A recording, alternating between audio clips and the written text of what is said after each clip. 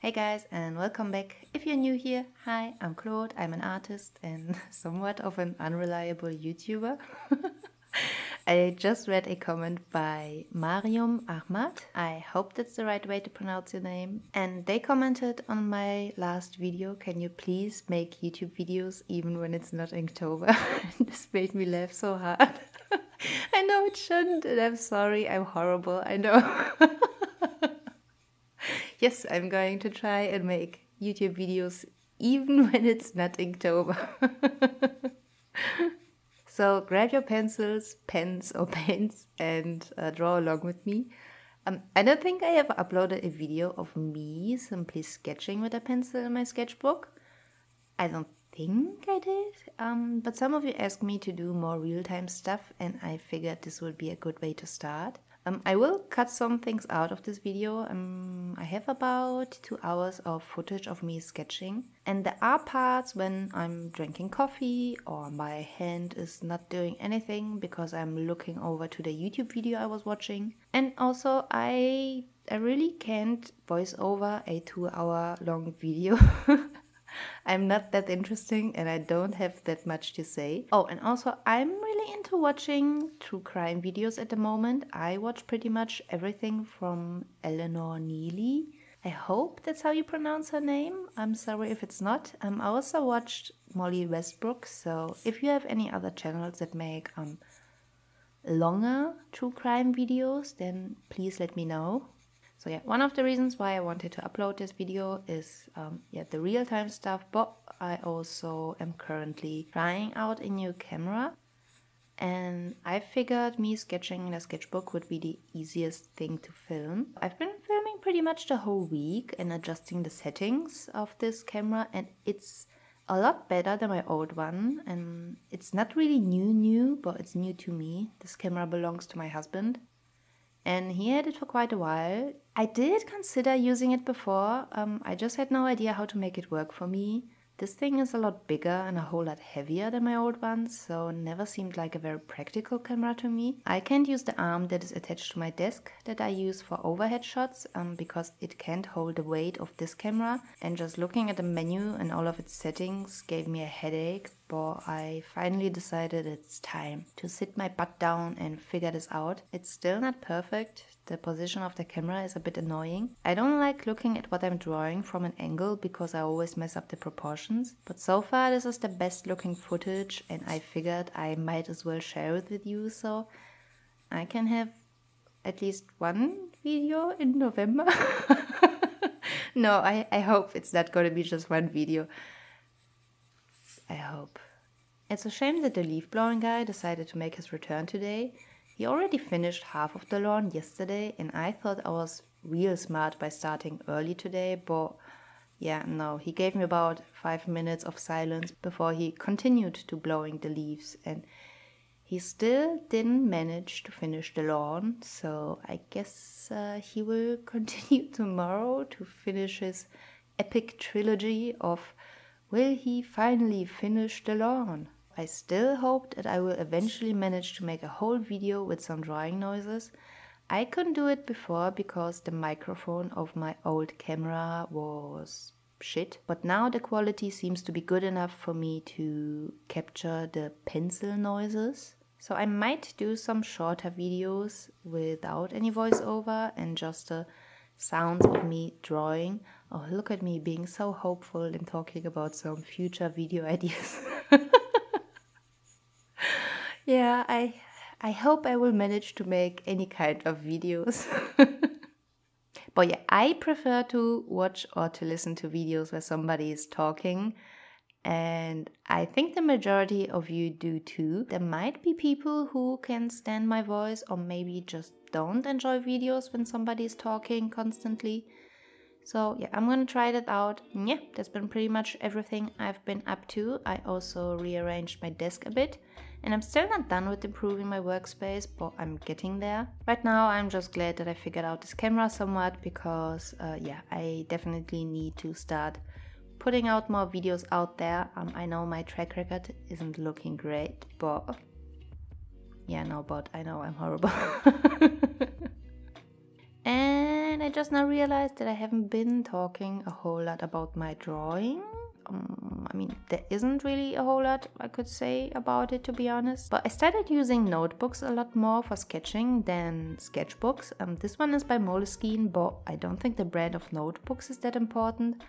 The paper of all the notebooks seems to be pretty similar and I only bought it because it was on sale. With sketchbooks, I always feel the need to use some color because when the paper is thick enough to take water, then I feel like it would be a waste not to use some watercolor in it. And currently, I'm really not that interested in making colored sketches. Somebody on IG asked me if the dots in the notebook are helpful in some way when I posted some sketches yesterday. And I don't really use the dots for anything, it's not like their guideline. It's just kind of nice to already have something going on on the paper. It feels less precious than using an expensive sketchbook. I never feel the need to put more time or energy into my drawings than I have to, so maybe that's the reason why I have been sketching a lot more lately and feeling just generally a lot more relaxed and good about my art.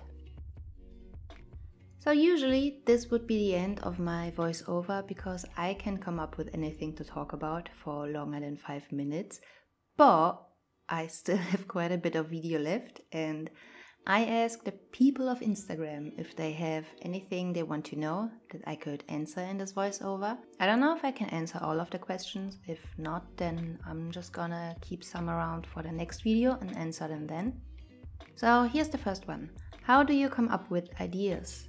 This is a question I get asked pretty often, and I assume that other artists get this question too. And I get why. It's pretty frustrating to look at a blank sheet of paper and nothing happens, no ideas, there's no inspiration. But there's also no secret to coming up with ideas, and if there is, then I'm not in on it. What helps me to overcome this is to draw even without a great idea. I don't need to be inspired or have something in mind just to start, and I can fill up several pages with drawings that I don't care that much about, but among them there might be one drawing, even if it's the shittiest little sketch that sparks something.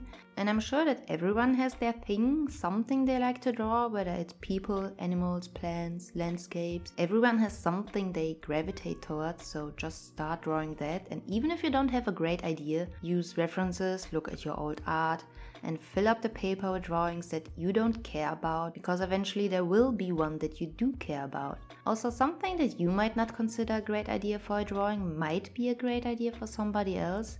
I don't consider any of my drawings to be very original. I'm not coming up with stuff that hasn't been seen before, but even if it has been done before, it wasn't done by me, and all of us see the world in a different way. Even if we draw the same things, they will end up looking completely different and unique. So there really is no practical step-by-step -step guide on how to come up with ideas. I have a Pinterest board with stuff that I like to look at. I watch a lot of movies and I draw a lot. And the next one, who are your artistic inspirations? And do you listen to music when you draw? I have a lot of artists that I love. I don't even know where to start. Um, I really enjoy Junji Ito's work, um, both his storytelling and his art, and I think manga and anime in general was always my biggest art influence. Sailor Moon and Dragon Ball is what got me started to draw. I got away from that a bit. Um, when I look through my older Instagram posts, I can see that I was a bit more realistic in the last couple of years. Still very stylized, but nothing like my recent work. So I guess I circled all the way back to where I started. I don't really listen to music when I draw. I prefer chatter in the background, but I do change things up every now and then. Right now, I'm into true crime, as I mentioned, and before that, it was uh, Twitch. I listened to a lot of Twitch streamers, and before that, it was movies or audiobooks. So it's a constant rotation of things in the background. How do you stay motivated to keep going? Do you ever get overwhelmed in the middle of a drawing? I, I mean, I constantly ditch drawings or paintings. Sometimes I notice mistakes pretty late and then I don't see the point in finishing them. So I either start over or put the sketch aside for a later time. But I don't really get overwhelmed by the amount of work that has to be done to finish it. There are parts that I enjoy working on over other parts, but If it's going well, then my brain is turned off anyway and I don't even think about that stuff. The process of working on something, just the activity of creating, is the part I love the most. And that's pretty much what keeps me going. So finishing something is only kind of a byproduct of that. And I think that's why I often feel so indifferent about my art once it's finished. There are, of course, days when I'm frustrated because it feels like I can't do it, like nothing I do works out. But that's also a part of being an artist, and I don't get mad at myself when it happens. I know that eventually it will pass and I can let myself fall again. How much coffee do you take within a day? Have you ever been too dependent of coffee to help you with your art making? I drink way too much coffee, probably, but I never thought about it having any connection to my art process. If anything, I think it's probably more of a hindrance because I get shaky hands pretty quickly, so that's not really helpful or good. Um, sometimes I have to cut out parts of the video where my hands are shaking like crazy because because I don't want anybody to be worried about me like there's something wrong. But I switched to drink a bit more tea recently, so I'm taking care of that. And maybe you could try to slowly switch to coffee without any caffeine to trick your brain. I don't know if that's something that works out for you, or maybe switch to tea. But I do hope that you manage to, you know, get off of the coffee. I know it's not that healthy to drink coffee all day long, but it tastes. Would you ever consider selling a tattoo ticket, like someone paying you for permission to use one of your drawings for a tattoo? I keep forgetting to mention this because I actually get this question pretty frequently. But if you seriously want to have one of my drawings stabbed into your body somewhere, then go ahead. I don't know how tattoo artists feel about this though. If you can just walk up to them with some Instagram post and be like, this I think I had a conversation about this with a tattoo artist, and he told me that people sometimes turn up with some random tiny drawing they found somewhere on the internet, and he he is never too happy about that situation. But I don't know, maybe it depends on the artist. I I never got a tattoo, so I don't know how this process looks. But there are artists that offer tattoo commissions, so that would be probably a better choice getting a nice, big, crisp drawing that you can hand to your tattoo artist. But again, if you really want to use my art and it works out, then go ahead. Same goes if you want to redraw my art and post it somewhere. If you want to tag me, great. If not, then yeah, I well, I probably don't know about it and I can get mad. I'm not that protective about my art. If you want to use it for practice or for personal use, like a tattoo, then I don't really mind. The only thing I would be upset about if somebody takes my art and then sells prints or puts it on a t shirt to sell that, yeah, that would be pretty shitty, but other than that, I don't care. How do you approach creating characters? Do you have a clear image in mind before you start, or do you use references? Um, I do both. Sometimes I already know exactly what I want, but that's pretty rare and I use a shit ton of references. Sometimes a reference can kickstart an idea, so I start with a reference because I like something specific about it and then I move on from that. I don't really stick to a reference to draw exactly what I see. I use photos of men and children, even though I was drawing a girl, because there was something particular about that photo that I like. Do you have a favorite theme or motive that makes you want to draw? Do you get inspired by other art like music or poetry? And do you have any other passion than art? And if so, does it influence your art? I think it's pretty clear that I like to draw girls. I draw guys every now and then, and I do want to make a point to do that more often. So, yeah, I just like drawing people. I think the only other thing that I'm really passionate about is movies, watching movies, especially dark and creepy ones. If I watch a shitty movie, I could rant about it all day, and if I watch a good one, then I'll keep thinking about it. And I'm sure they influence my art in a way. Most of the girls I draw could be final girls, I guess. I haven't watched a great movie in a while though. Nowadays, I spend my evenings watching a couple of episodes of One Piece and I think I'm somewhere around episode 600. The end of the Marineford arc was. Uh, yeah. I cried a lot. like the big ugly one piece cry with a lot of snot and everything and i'm still mad about it like what the fuck was he doing crawling around on the ground not paying attention we were almost out of there why what is your favorite medium to work in for sketches and your favorite for finished works I used to sketch a lot with mechanical pencils, but nowadays I prefer regular pencils more. Um, currently I'm using the Stabilo Schwan HB 2.5 and I think watercolor is still my favorite for colored illustrations. I started using it again after I ditched Inktober and I'm a lot happier with it than I used to be.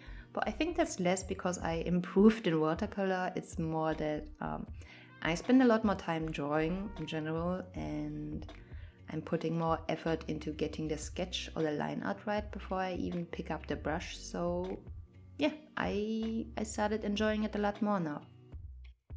Okay, so now for the last bit, um, I got a lot of questions about just general stuff like finding style or how to improve your art. And I know this sucks, but a lot of it can be answered with just draw a lot, which is which is a really annoying answer and it's so unspecific, but it's only thing that I can really say. I never took any art classes. I didn't learn by one specific method, which doesn't mean that that isn't helpful. And you should take all of the resources that are available to you. But everyone learns differently, and something that might work for one person might not work for somebody else. And at the end of the day, if you don't put in the time, then you won't see any results, and only you can really even know what results you want to see. Do you want your art to be more realistic or more stylized, detailed or minimal, dynamic? Do you need to study anatomy if you enjoy drawing plants more? If somebody asks me, hey, I want to be better at drawing people, what should I do? Then I don't really know how to answer that other than draw a lot of people because I don't know what they want their art to look like. I don't know what makes them think that somebody else's art is better. Is it the proportions? If you feel your proportions are off, then work on that. Is it a pose? Practice a bunch of different poses. There really isn't one solution to better art, and if you're in it, you're in it for life. There will always be something to work on. And I know that 10 years from now, I will still sit there and think, hmm, yeah, no, this, this is shit. And I don't really have a problem with that because it actually makes me pretty excited. There is no end goal, there is no finish line. There will always be something to improve and to work on. I kind of like this idea. I like the constant change of art. This is pretty much it. If I haven't answered your question, then it's something I want to talk about next time. But right now, I can't talk anymore and there's still so much video left. So I cut out all of the parts of me doing nothing and I was left with around an hour of pure drawing. And even though that's only half of the footage I started with, again, I'm not doing a full voiceover, I'm done. so I will put on some music and speed up the rest of me drawing. Um, if you are interested in more real-time videos and don't care about me talking constantly, then please do let me know. And if you are interested in shorter videos where maybe I draw just something really small, but you want to see it from start to finish in real time, then also let me know. Even if you don't let me know, I'm still gonna try both and see if somebody out there likes it. Uh, thank you to everybody who asked me something, and thank you for watching. I hope you have a great day or night and stay safe. Take care. Bye.